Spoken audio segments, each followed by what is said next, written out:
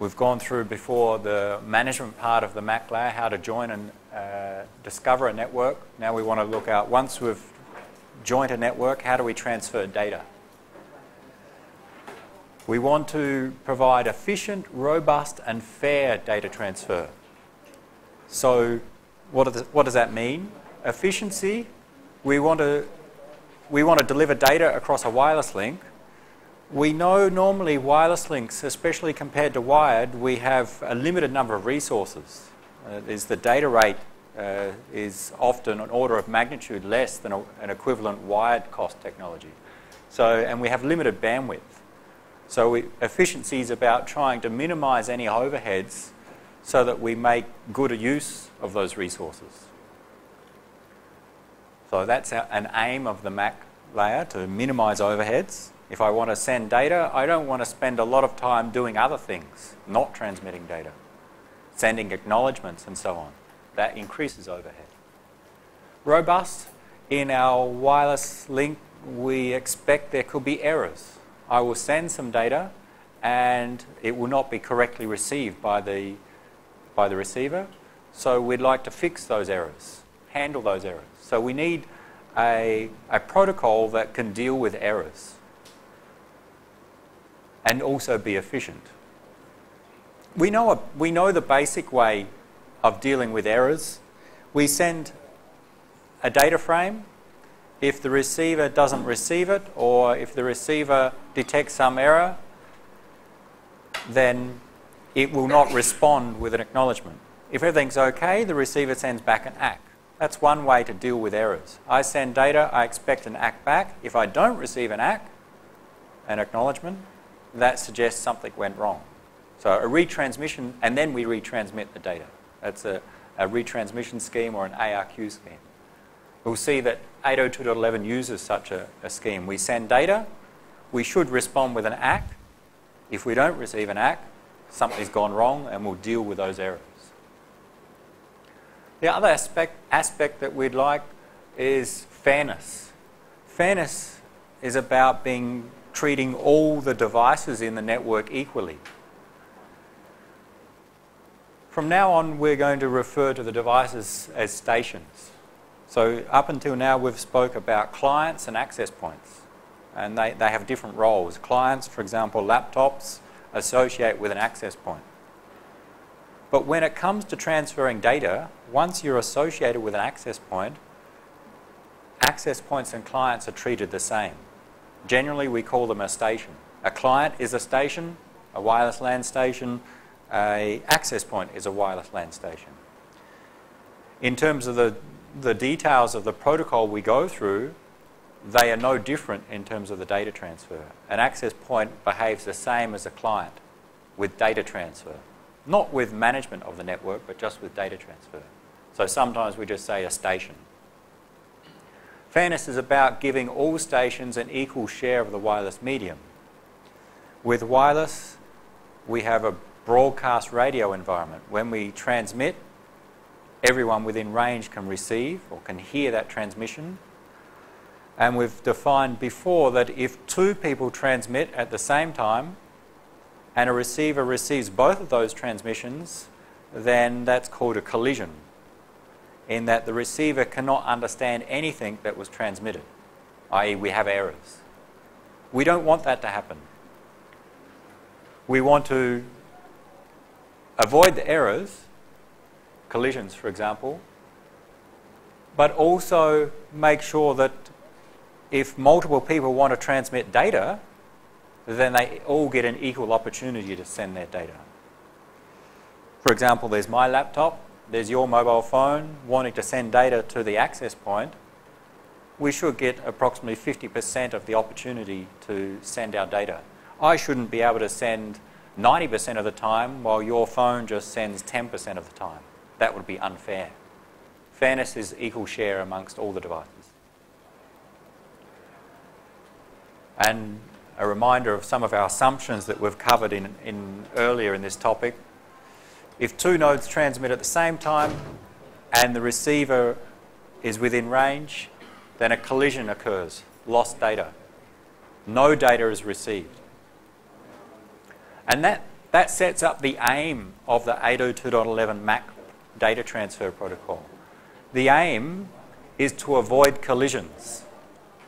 Because collisions lead to lost data, and lost data leads to retransmissions, which leads to a longer delay before we receive the real data, we get lower performance. Collisions can significantly reduce our throughput and increase our delay, which is bad. Collisions occur when two or more stations send at the same time. Therefore, the goal of the MAC protocol is to ensure only one station or one node transmits at a time. If only one station transmits at a time, there will be no collisions, and therefore there will be no lost data due to collisions, and our performance should be okay. So that's the goal. There are two ways to provide that approach, or in the original 802.11, two, two ways uh, for transferring data. One's called DCF and the other one's called PCF.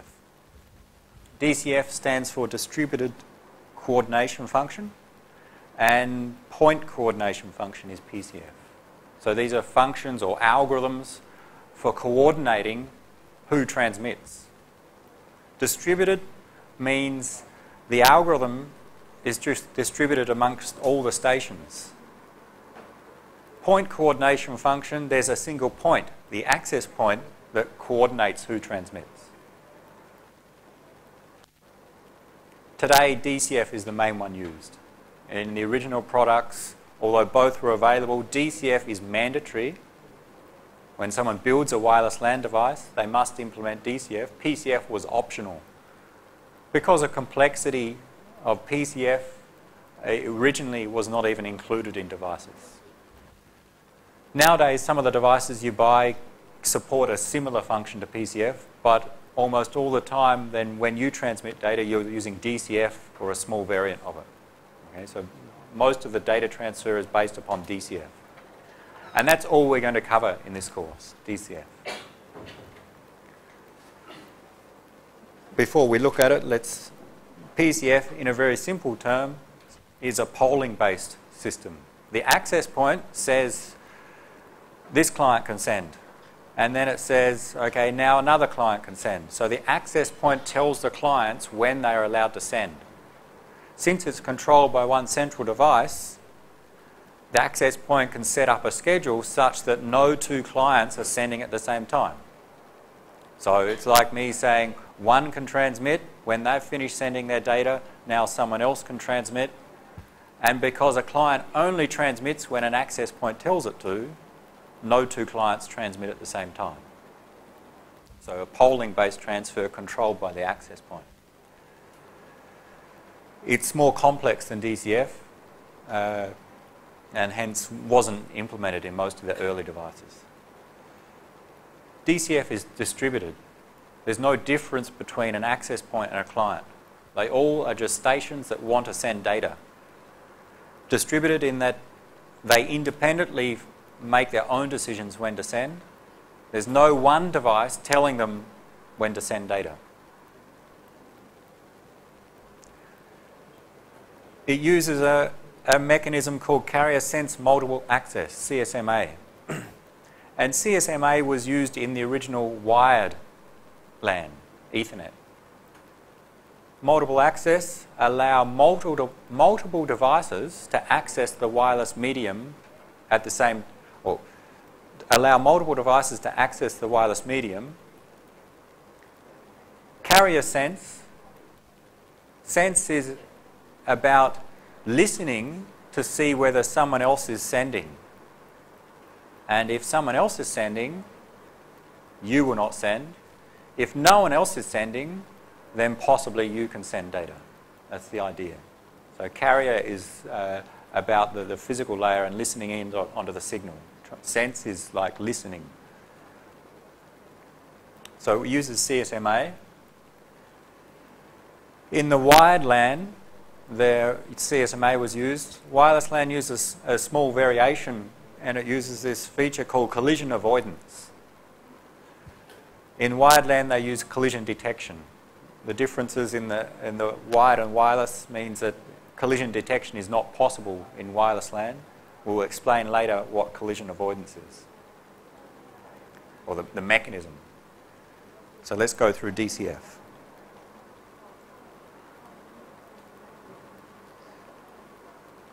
One station transmits at a time.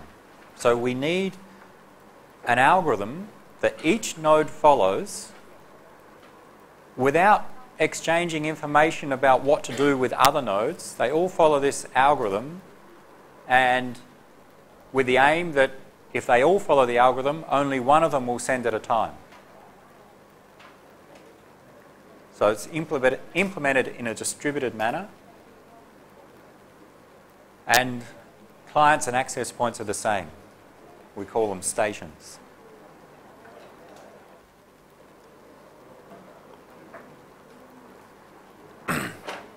Within DCF itself, there are two modes of operation. One's called basic access, and one's called RTS CTS mode. And the modes are selected depending upon the size of the piece of data that wants to be sent. For smaller data, basic access is used. For larger data, RTS, CTS. We will go through both modes separately. Explain basic access first today and maybe get on to RTS, CTS.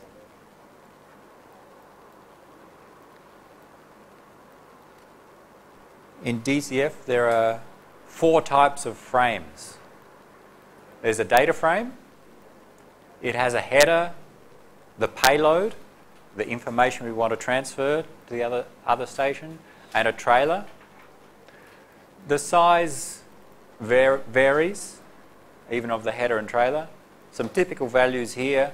Often the header and trailer around 34 bytes. It can change uh, in, in some special cases. And the data is limited up to a maximum of 2,312 bytes typically because wired LANs use 1,500 bytes, wireless LAN will limit to 1,500 bytes as well. And the very basic mechanism is the source sends a data frame to the destination. The destination sends back an acknowledgement frame. There's an ACK frame. There's no data contained in the ACK. It's a small frame, for example, 14 bytes of header, and that's it. And there are two other types of frames. Data and ACK are used in basic access mode. In the second mode, RTS-CTS, there are two new types of frames called RTS, request to send, and CTS, clear to send. We'll come back to the purpose of them when we look at RTS-CTS. Again, they're small, tens of bytes. So normally we send one large frame, a data frame, maybe 34 bytes of header, 1,500 bytes of data, and then we expect an, a small ACK to come back. Of course, the larger the header and the ACK relative to the data, the less efficient we'll be. That's why we'd like to make the data large compared to the other parts.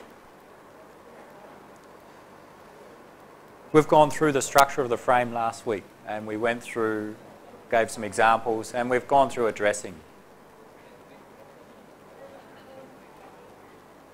Let's go into detail how DCF works.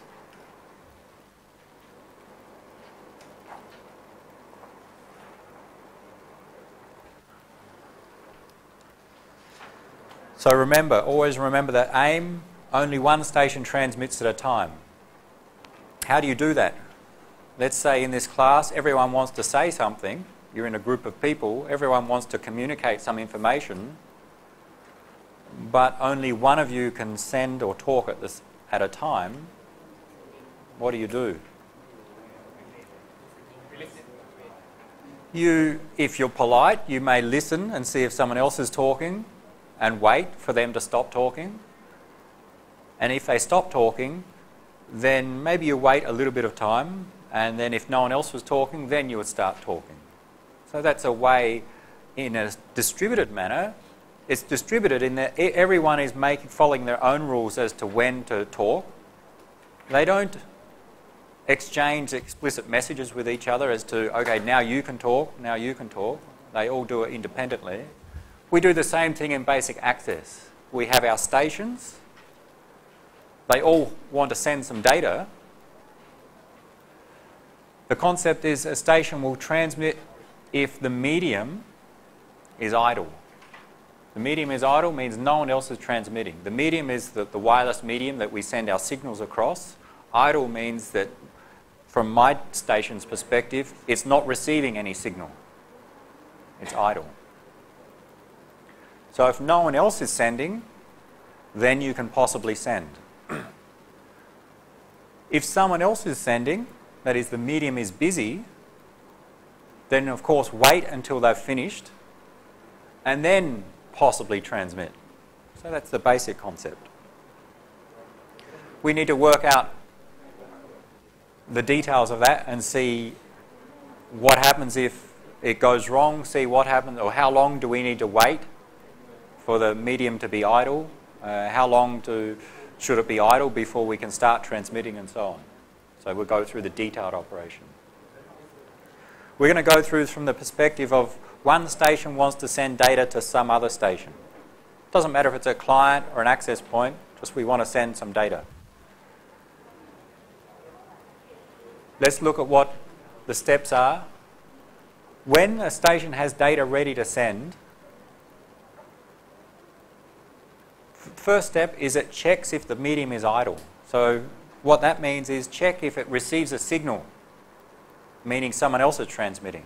So the radio is in the receive mode. If it receives a signal which is strong enough, then the medium is busy. Someone else is sending. If it doesn't receive a signal, then it assumes the medium is idle.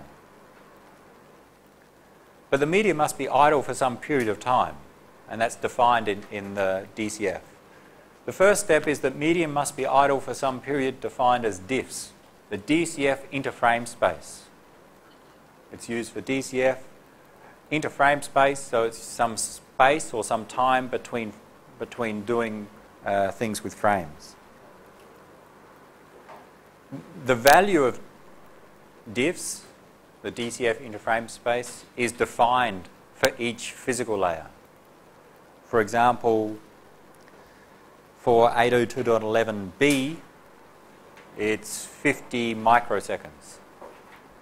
And for 11G, I can't remember the value. I've got it on one of the later slides. So for the different physical layers, there's a value defined for the DCF interframe space in the order of tens of microseconds. So the medium must be idle for that period of time. And then after that period of DIFS, in fact, the medium must be idle even longer. What happens is the station checks, keeps checking if the medium is idle, no one else is sending, and it must be idle for another, another period called a back-off period. In wireless LAN, DIFS is fixed, the value, the back-off period is chosen randomly by the station. So for different computers, different stations, it may be a different value. We'll see the algorithm for choosing it uh, shortly. If, from my station's perspective, no one else was sending for the DCF interframe space, and no one else was sending for the back-off period, then I can transmit my data. So when the back off period is complete, transmit the data frame. So you transmit the data frame to the other station. And I don't know if we don't say it here.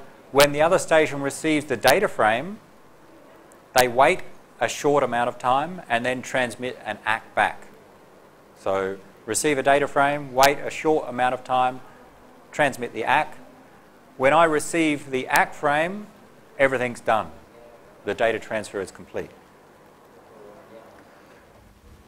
The receiver, when they receive the data, they wait a short amount of time. That's called the short interframe space. We'll see that defined shortly.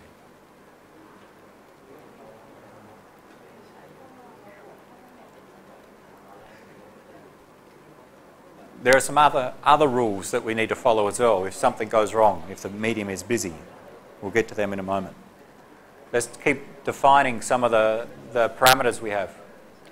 We have interframe spaces. The two ones that we care about are DIFS and sifs.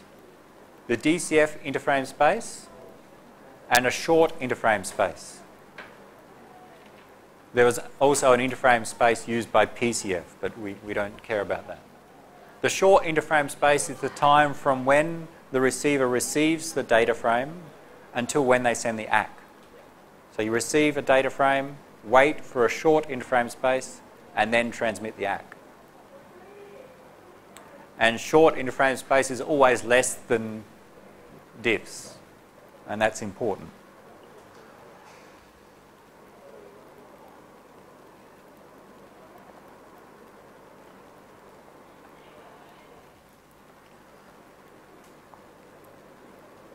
There's, we said, we wait for the DIFS and then we wait for a back-off period.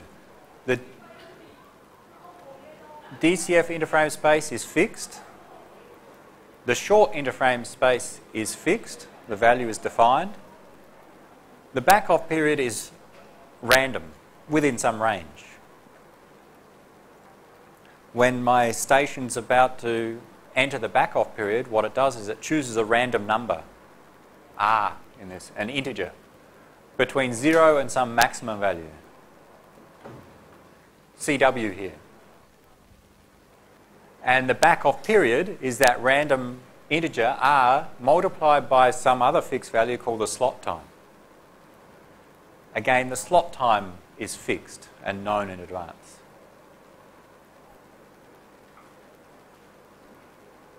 We'll come back to the rest of that, uh, the, the value of CW and uh, how it changes after we go through an example. So we've got some parameter values and they're defined for each physical layer. So 802.11b, there's some values. For 11g, 11n, there are values, and they're not always the same amongst the, the physical layers. They are the DCF interframe space, the short interframe space, the slot time, and we'll see that there's a minimum and maximum value of this CW called our contention window. The back-off period is some random integer between 0 and CW multiplied by the slot time. Let's look at some values and then go through an example. I think that a few slides along many slides. Here are some values of those parameters. Just for 11B, 11A and 11G. So for 11B, 50 microseconds is the DCF interframe space. So when I want to send data, I must check that no one else is sending for 50 microseconds. If no one else was sending, then I start the back-off period. And the back-off period, I choose a random integer between 0 and 31 multiply by the slot time. So let's say I chose 10, for example, between 0 and 31. I choose 10 multiplied by the slot time of 20 means I must wait for 200 microseconds. And then I send my data, and the receiver waits a short interframe sp uh, space of 10 microseconds and sends an ACK back. If I'm using 11A, same procedure, but just different values here. And 11G and 11N as well.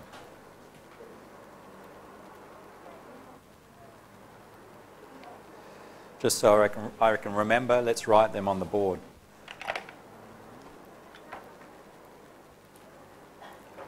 What have we got?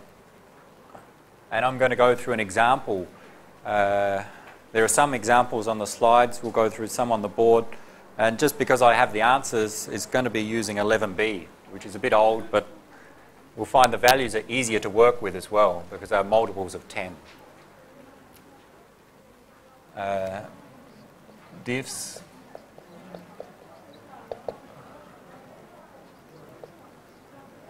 And in all my, in my example, I will not show the units just for convenience.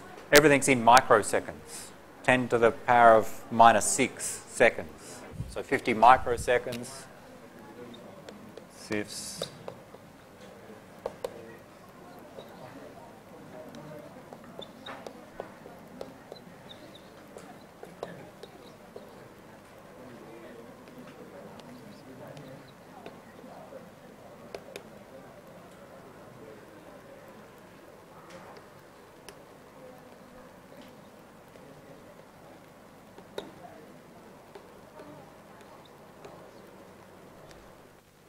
Let's go back to our description.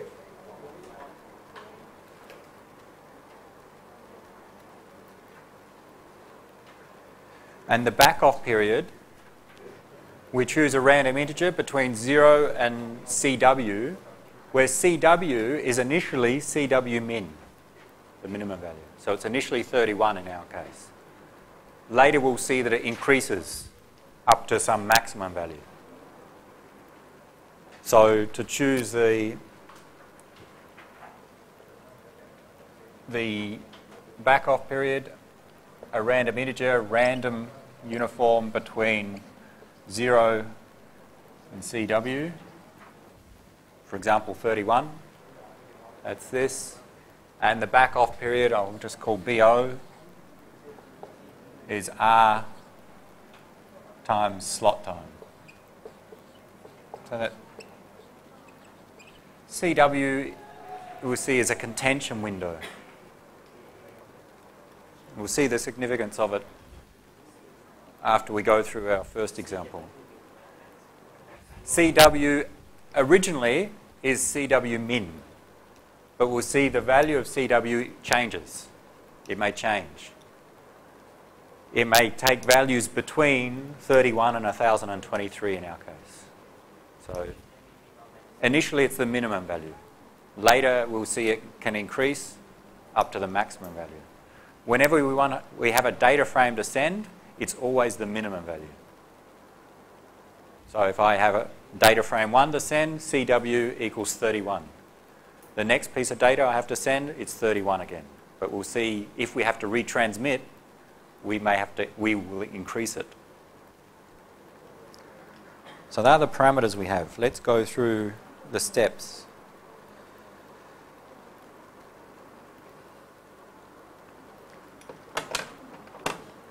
And to, to illustrate what, ha what happens, we'll try to use these, these timing diagrams. They can both illustrate what happens and we'll also use them to calculate how long things take. The way to read it first is time increases as we go from left to right. So in this diagram, each line represents what happens at a station. So in the example on the screen, there are three stations. Stations A, B, and C. And for each station, we show the operation that it's performing or the stage it's in in terms of the protocol. For example, in this period, it's waiting or it's checking that the medium is idle for the DIFS period. Then it's checking that the medium is idle for the back off period. Then it's transmitting data. And the data transmission takes time. And then, so remember the, the simple steps wait for DIFS. The medium must be idle. If it's idle, wait for back off. If it's idle for, during that period, transmit the data. Depending upon the size of the data frame and the data rate we have, it takes some time to transmit. The receiver, in this case B, receives the data. Once it's received the entire data frame and checked it's okay, it waits a short interframe space and then transmits an ACK in response. And once A receives that entire ACK, that data frame transmission has been completed. We've finished one frame transfer. And then we can proceed to others. So if you ignore the rest of the details, going DIFS, back off, data, sifs, ACK, that's the normal case, assuming nothing, uh, there's no interference, nothing goes wrong. So remember those steps. DIFS, back off, data, sifs, and ACK. We, we will try and calculate how long it takes to transfer the data, and from that look at the throughput and delay incurred from using the wireless LAN MAC protocol.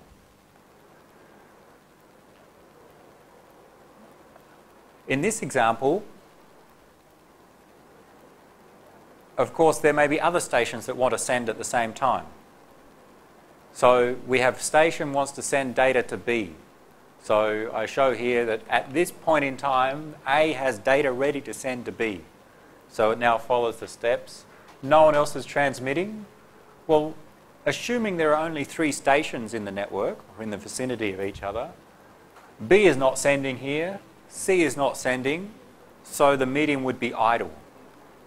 So we think about when is the medium idle and when is it busy. It's idle if no one else is sending. No one else is sending, it's idle for the DIFS, so we proceed to back off. We choose a random number, and the back off is that random number times by the slot time, some period of time. If it's idle for that period, and in this example it is because B is not sending, B's got no data to send. C is not sending, and starts transmitting the data. And in this diagram I show when the medium is busy by these uh, th this rectangle here with the, the sloped lines. This is indicating the medium is busy. Someone is transmitting. Because we have a broadcast medium, when A is transmitting, from B and C's perspective, the medium is busy. Okay, so I draw that here. B, the medium is busy, and for C it's busy. And we can see for the rest of the cases. Now, let's consider what happens if C wants to send some data as well. So A started, and then sometime later, at this point in time, C wants to send data. And they want to send data to B. So they follow the rules. They check if the medium is idle. If so, proceed into the DIFS phase. The medium must be idle for that entire duration of DIFS. All right, where it's idle, it's idle, it's idle, and then it becomes busy. We start to hear the transmission from A. Even though A is sending data to B, because, because it's a broadcast medium, everyone within range receives that data or receives the signal. So C starts receiving the signal and determines the medium is now busy. So when you are in DIFS or even in back off, the medium needs to be idle. If it becomes busy, you wait. So this is the idea of if someone else is sending, wait until they stop sending and then try again. And sometimes that waiting is called deferral. We defer our transmission until a later time. So C is not doing anything here, it's waiting. It's waiting for the medium to become idle again. It's busy, it's busy. And then A stops transmitting, the medium becomes idle. So from C's perspective, it restarts from the start of the DIFS. It needs to be idle for DIFS. It's idle, it's idle. Ah, it's busy again. Yep. Uh, yeah, so restart from the start. So DIFS means the medium must be idle for that period of time. If it's not idle for the entire period of time, then you wait until the medium becomes idle again and you, you as if you count from zero again. It must be idle for the full DIFS again. So here, for A's perspective, the medium was idle for the DIFS. Here, for C, it was not. So it has to go back to the start. The medium must be idle for a full DIFS. It's not in this case because it was idle for a short period of time, but then the ACK was started to be transmitted. So it becomes busy again. And note that DIFS is always greater than the short interframe space. So that means when someone stops transmitting data, another station, C in this case, will not get to finish their DIFS because B waits just a short period of time and then immediately sends. So the ACK should always come back after the data, assuming there are no other errors. So from C's perspective, it waits for the, or defers for the ACK to be completed, and then the medium is idle again.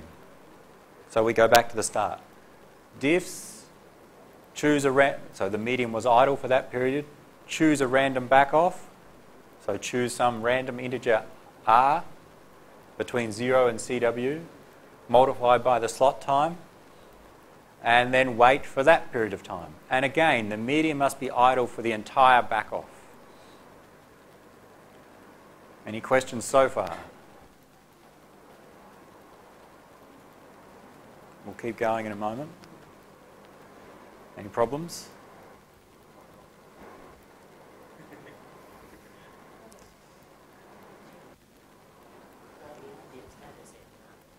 What if DIFS at the same time? Uh, I think that's a question about, well, what if two stations want to send at the same time? We'll see what would happen. We'll see some examples later of the what if different cases occur. We'll, see it com comes back to the random back off and why we have a random integer here. If they both start DIFS at the same time, then of course the, the medium will be idle, but then they'll both start the back off at the same time, and most likely one will choose a different random integer than the other and get to transmit first. We'll come back to that example in a moment. Let's try and finish this one. We've got to a stage where C has data to send to B, A had data to send to B, successful, done. So A is finished from that perspective. Medium is idle for DIFS. We start the back off. The back off is quite long in this case. Let's say we chose a large value of R, 30. Okay, it's random. In the meantime, B now has data to send back to A. Because A has sent data, maybe depending upon the application, now has something to return. So at this point in time, B has some data to send to A. So it follows the same steps. DIFS. Okay, so look at the medium at all three stations. Look if it's idle or busy. DIFS, it's idle, everything's okay. Choose a back off. In this example, let's say it chose a small random number, 3 for example. It depends upon the exact timing, but let's say it chose a random number such that it finishes its back off while C is still proceeding with its back off. So the time that C needs to back off is quite long. Maybe in the normal case it may finish here. The time that A, B needs to back off is quite short. Of course, it just depends upon the random number chosen. So B finishes the back off, and when you complete the back off and the medium has been idle, send the data. So B transmits the data, which interrupts C's back off. Because if C, B is sending data, the medium is now busy, so station C must defer. It must wait until the medium becomes idle again. We saw that happen with C before. It started the DIFS, medium became busy, it deferred, and then it has to restart the DIFS. When it becomes idle again, interrupted, restart the DIFS. When we interrupt the back off, we wait until the medium becomes idle again, start the DIFS, Okay, we don't get the DIFS completed because in fact there's a short interframe space and then the ACK comes back. So the medium is busy, we're waiting, we're waiting, start the DIFS. And here's a, a thing that's different. We don't restart the back off, we continue from where we left off. So if I chose R to be 30, means my back off is 30 slots. If I completed 17 slots here, 17 of the 30 that I required to complete. When I continue, I need to do another 13. I don't need to wait for 30 slots. I need to wait for just 13, the remaining slots. So we continue the back off from where we left off. Once the back off is complete, send the data, although it's not shown here, there'll be a short interframe space and an ACK, and we'll be done.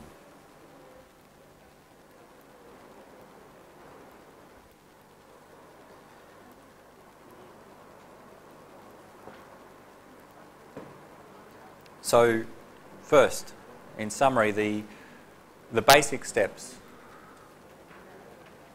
Medium must be idle for DIFS.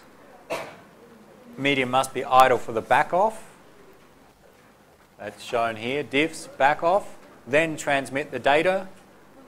When B receives the data, it waits for the short interframe space. The medium doesn't have to be idle there. It's not checking. It just waits and immediately sends or then sends the ACK. And then we're done. But if you, you have data to send and the DIFS is interrupted, wait until the medium is idle again and then start from the start.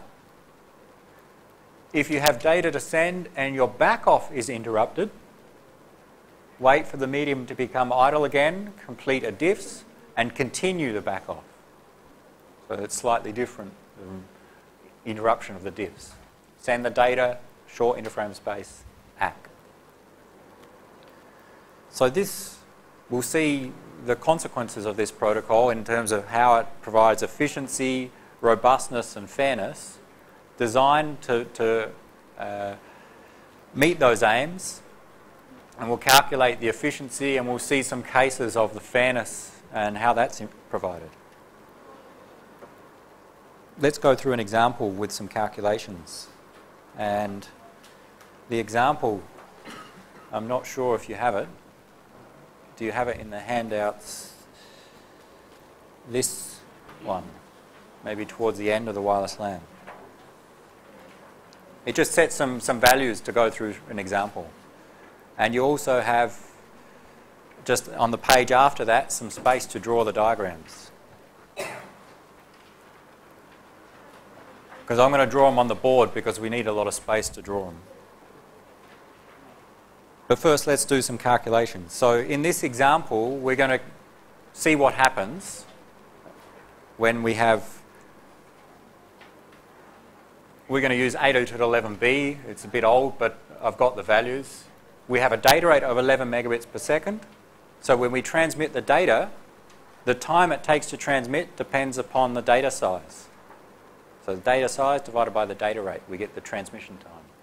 We have the DIFS and we have these parameters. Let's make some assumptions about the size of frames because we need to know the size to calculate the transmission time. Data header and trailer 34 bytes. ACK frame, 14 bytes. We're not dealing with RTS, CTS yet. How long does it take to transmit the data frame? We need to know the data size. In, in the example we're going to go through here, section 3, the basic access, we're going to assume there are three stations two clients, A and B, and a single access point. And in all cases, the amount of payload to be sent is 1,341 bytes. Calculate the transmission time of the data frame. That's the data size plus the header. What's the transmission time?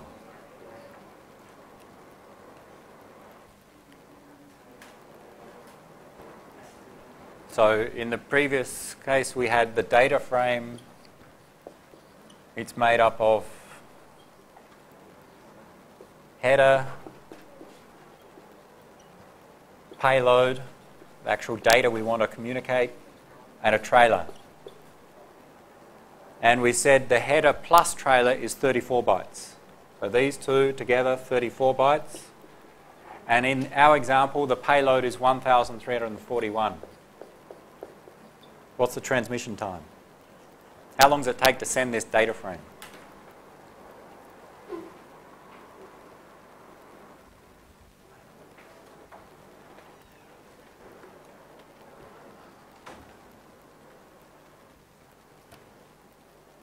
We've got a total size of what? 1375 bytes.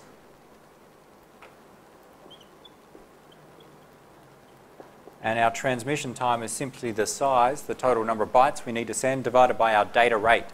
Our physical layer transmits our, our bytes at 11 megabits per second. Uh, it was given in the 11b characteristics. So 1,375 bytes divided by 11 megabits per second. You will use your calculator and you get anyone? Around? I want exact.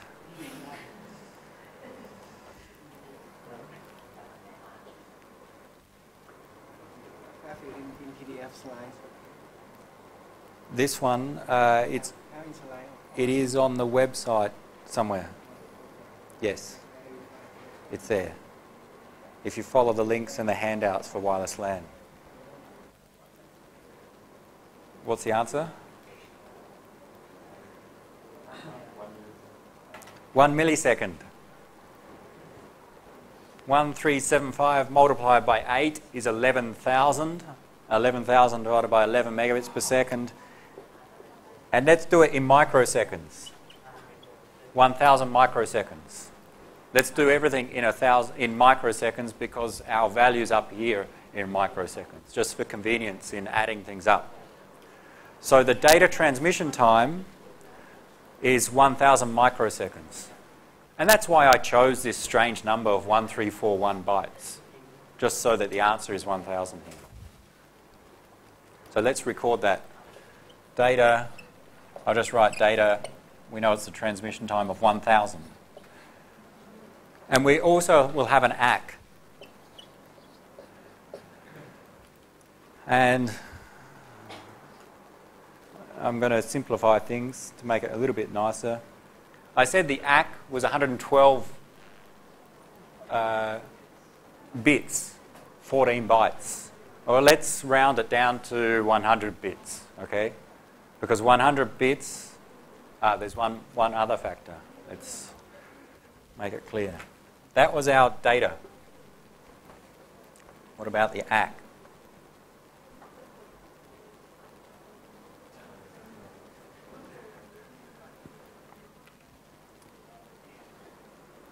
The ACK is 14 bytes or 112 bits. For simplicity, let's change it to 100 bits. Approximate, okay? Just so my numbers are easier to work with. You will not do that in an exam unless I tell you to. You will use the exact value, okay? Or I'll give you a, a nicer value. I'll say it's 100 bits. Now, there's a slight difference here. The data is, we said, is sent at 11 megabits per second. So it's the data size divided by 11 megabits per second. With control frames, the non-data frames, often they are sent at a lower data rate, usually the lowest data rate. And in particular, an ACK frame is sent at, so we have 100 bits, we transmit it in 11B at 1 megabit per second not at 11 megabits per second. So in fact, your, your radio device changes the data rate. The data is sent at 11 megabits per second and then the receiver sends back at 1 meg megabit per second. Why? Because the control frames, ACKs and others, RTS, CTS, and even beacons, if you send at a lower data rate, a receiver further away can receive. So if you move up to a higher data rate, that effectively the transmission range reduces. With a very low data rate, you can send a long way. So the idea of sending at a low data rate the control frames means other stations can hear this.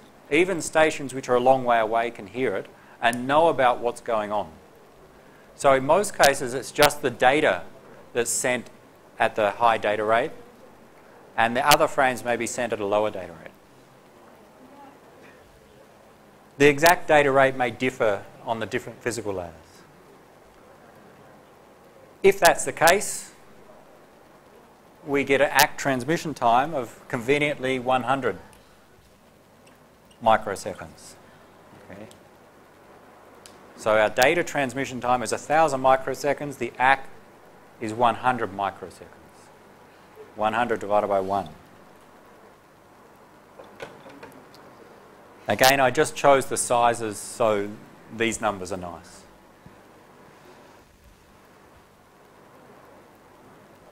Let's use that data to calculate how long it takes to send our data.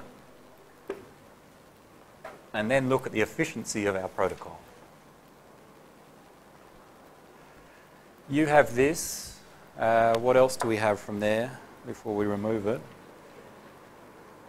So we've got the scenario, scenario 3 here.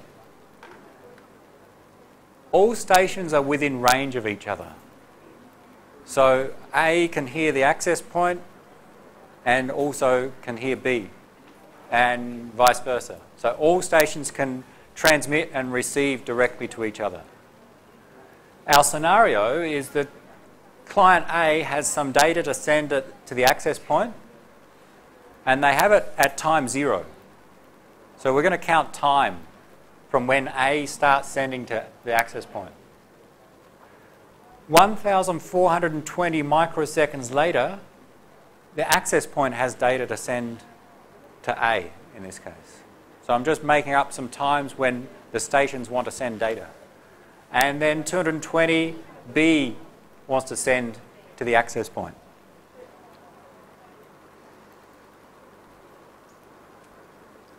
And when they choose random numbers, each station chooses independent. Your computer chooses a random number between 0 and CW. To make my calculations uh, easier, let's say A chooses 10, access point chooses 3 as a random number, and B will choose 10. There's no link between the two values A and B chose. They're random. With that information, let's calculate and draw how long it takes to transfer the data. Any questions about the setup before we remove this? Because I'm going to draw on the entire board. So just the transmission times and some of the characteristics of the, the uh, physical layer.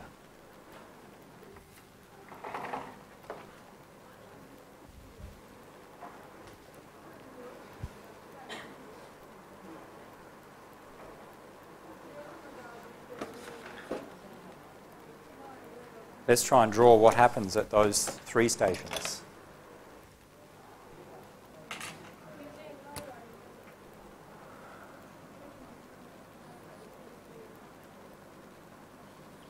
A, access point, and B.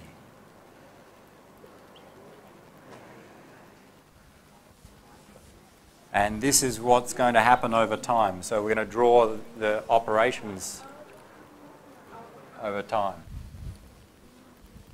If I can get this straight.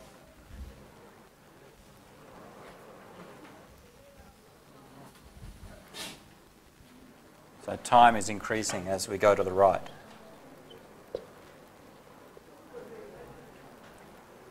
and all the times will be in microseconds. So when we start, A has some data to send, the node here, send to the access point, and that's at time zero. Okay, that's when we start uh, this this example. What happens? DIFS. So the, when, you, when a station has data to send, it checks if the medium is busy or idle, checks if anyone else is sending. Access point is not sending, B is not sending. Note that B sending from our numbers at time 220. Checks for the DIFS. And I'll draw that here, okay, some period of time, DIFS. If we started at time zero, the DIFS would finish at time 50, okay, 50 microseconds later. So I'll record the times.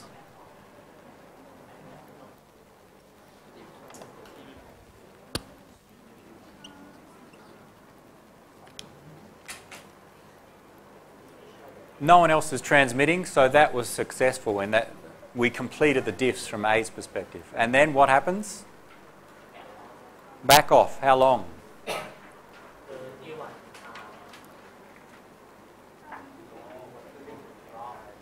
choose a random number.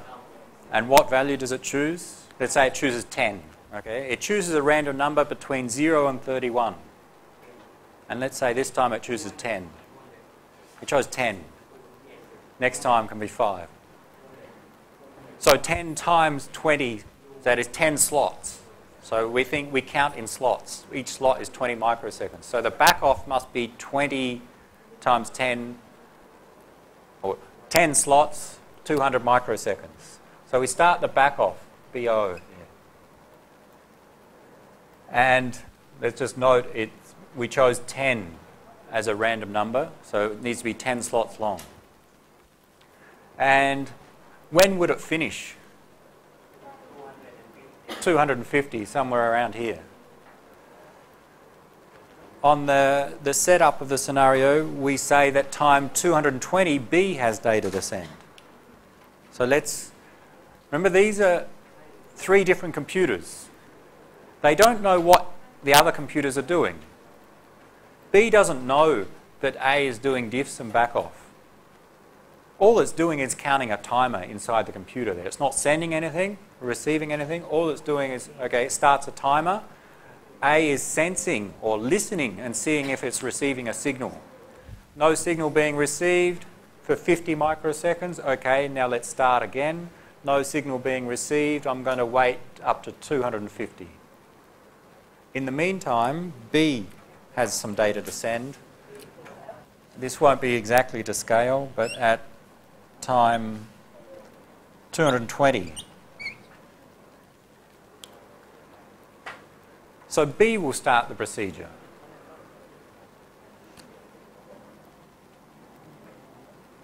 DIFS. Remember, it's a distributed system. We need to consider what the devices are doing uh, in parallel.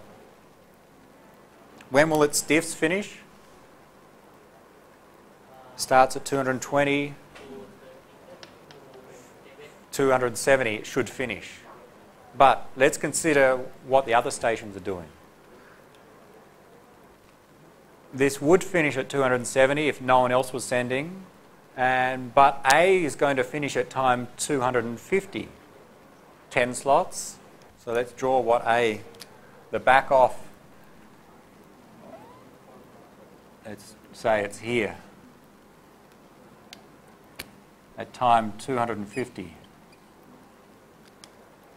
which is 20 times our 10 slots. And when we finish the back off, what does A do? It transmits the data.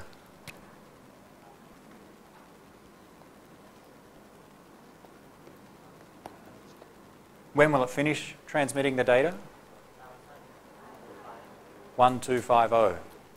Start 250, takes 1,000 microseconds to send, 1250, it will finish.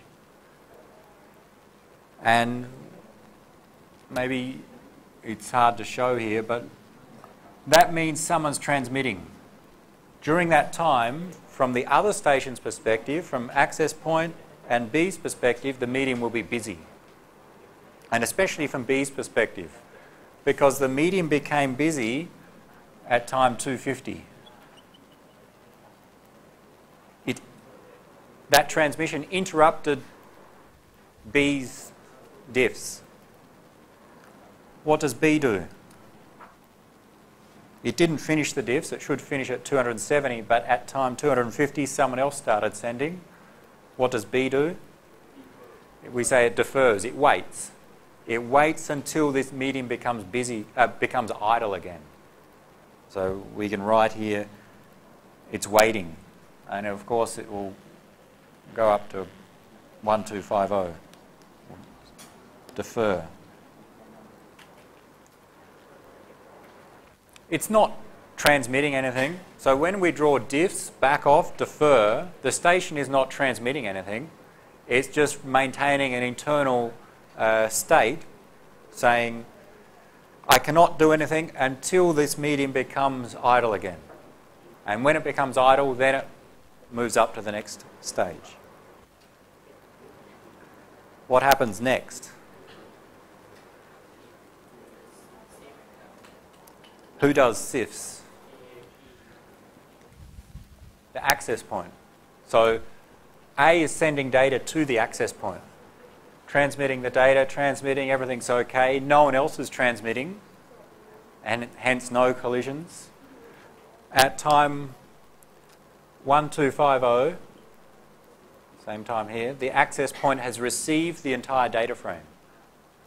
Okay, so once they receive the data frame, they check it's okay. It doesn't take any time or any significant time. And then they wait for a short interframe space. SIFS. Wait for a short interframe space and then immediately send back the ACK. I'll draw the ACK here.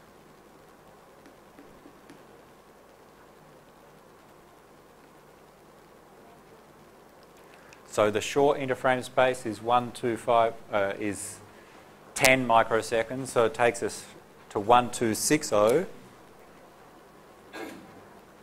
And the ACK is 100 microseconds, so it takes us to 1360.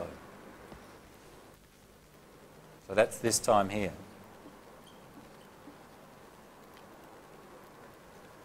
Check that I've on the right track.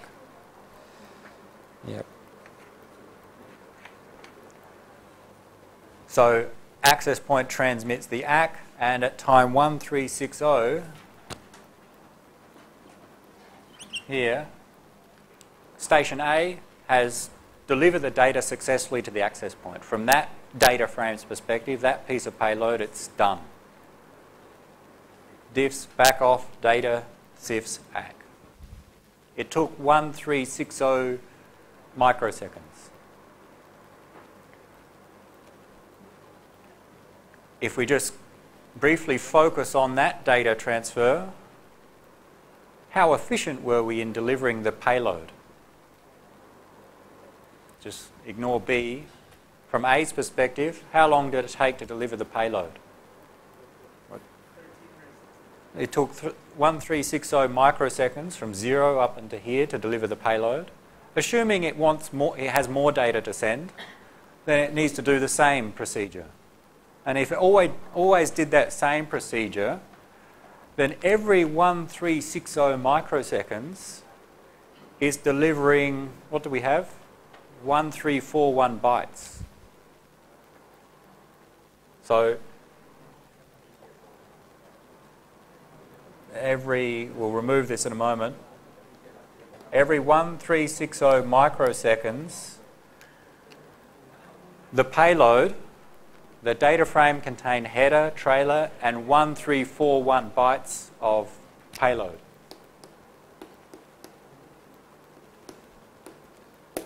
So we delivered 1,341 bytes of payload in 1,360 mic microseconds. That gives us a throughput Assuming we'd always sending 1341 bytes and it took 1360 microseconds, then that would give us an indicator of throughput. How much payload, or what's the rate at which payload is being delivered? That is payload divided by time. Whatever the value is, uh, multiplied by 8, I'd need a calculator. You don't have to calculate that. We'll see later some summary statistics.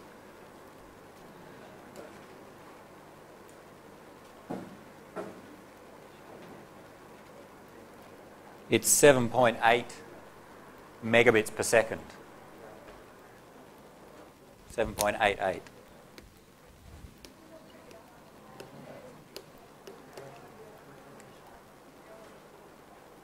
Remember, our, our physical layer data rate is 11 megabits per second.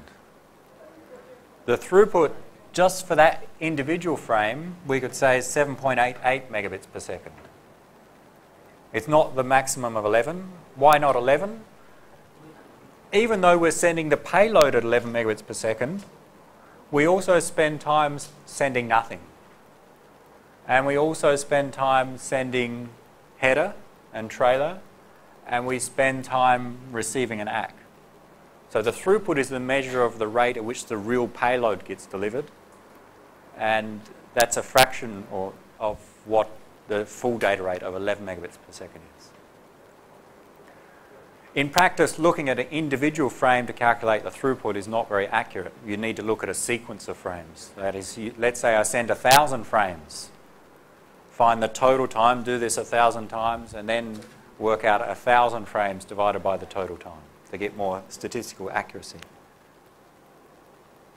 So we're see, seeing some overhead or some inefficiency arising. Let's continue. What have we got? Five minutes left. Let's continue and see what happens at B. Because A is finished. B deferred up to 1250. Then what happened? In fact, at 1250, medium is idle again. So start the DIFS.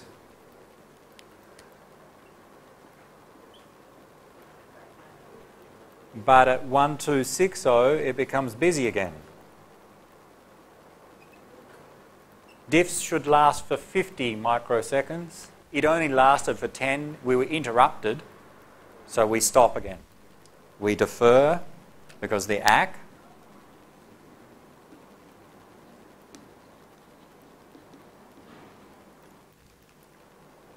and 1360, and now the medium becomes idle again. What happens next? DIFS again. We start it from the start.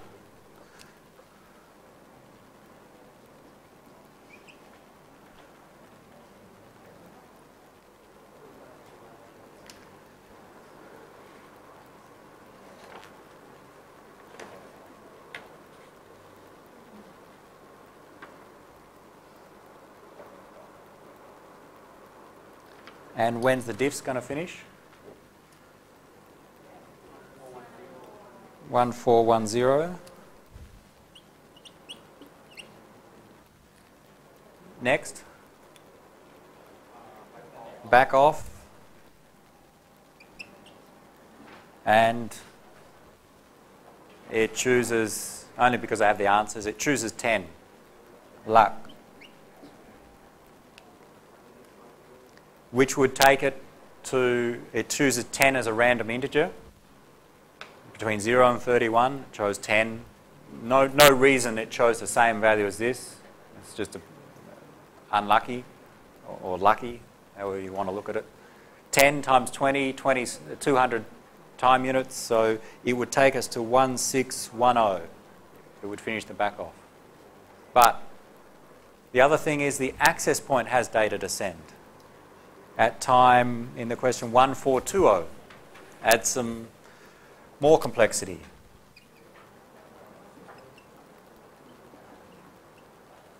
At time 1420, access point wants to send data. While B is in the back off period, access point DIFS. When's it take us to? 1470 back off, chooses 3 as a random number. Again, between 0 and 31, chooses 3.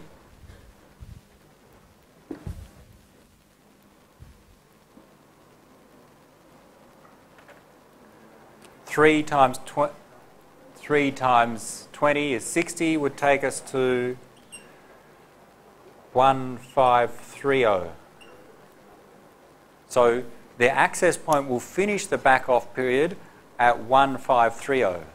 No one else sending. A is not sending. They've got nothing to send. B is not sending yet. They're still in back off, which should finish at somewhere at 1610. But in fact,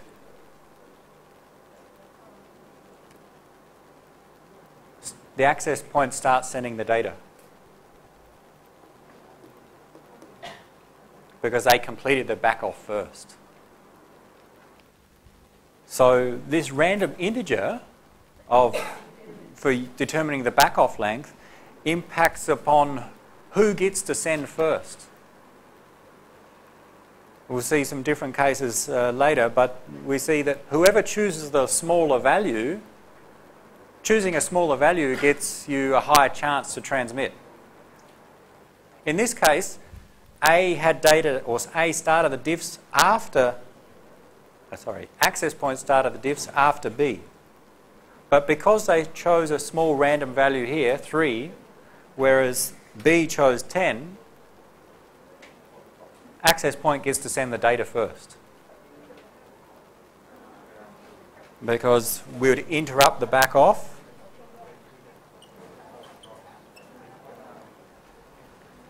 We'd have to defer. And we'd see the same here. We'd see uh, takes 1000, 2530, SIFS, ACK. So SIFS is 10, which is 2540. ACK is 100, 2640.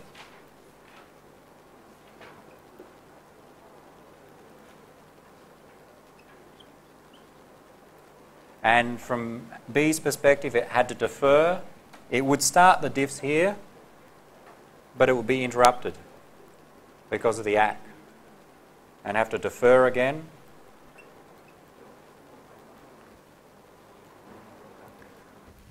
And what's next? So, although I've skipped through this part quickly, it's the same as here. Data, SIFS, ACK. And the other station defer during the data, start the DIFS but interrupted by the ACK, defer during the ACK, and then done. The data has been delivered to station A. What happens next? We're almost finished. DIFS.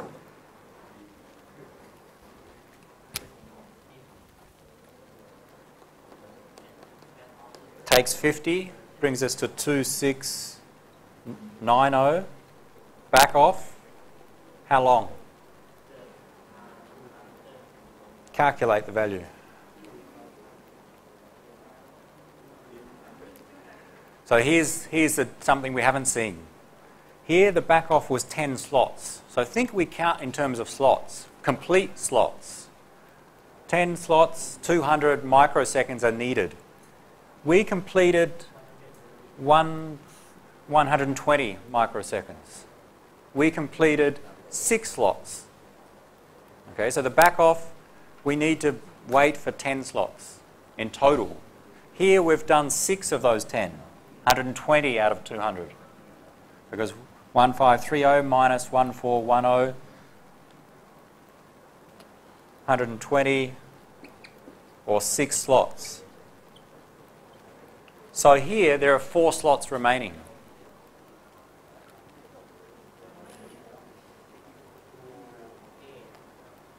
Eighty, and then we'd send our data, and I'm out of room and out of time. And you'll see that you'll just finish, there'll be data, SIFS, and ACK, and you'll complete.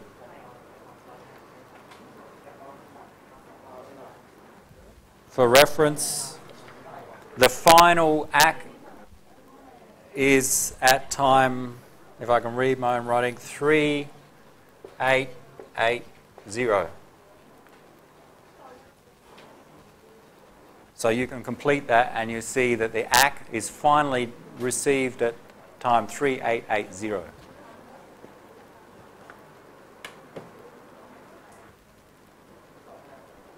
So we've seen the basic mechanism of DIFS, back off, data, SIFS, ACK. We also see deferral. If we interrupt the DIFS, then we restart. But if we interrupt the back off, we continue completing the number of slots we haven't completed yet. So here we've done six of the 10, we've got four remaining. There are some more details to go through. What happens if different cases arise? We can still get collisions. How? What do we do in the response of collisions? We'll go through them next week and we'll try and finish on wireless LAN on Wednesday and Thursday next week.